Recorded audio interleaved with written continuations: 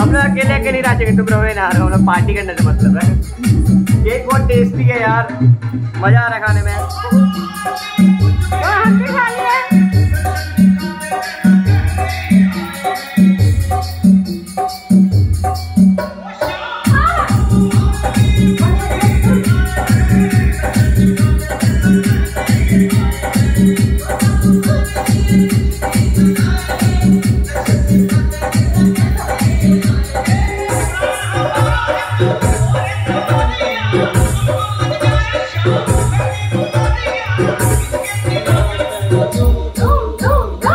So put it happy birthday.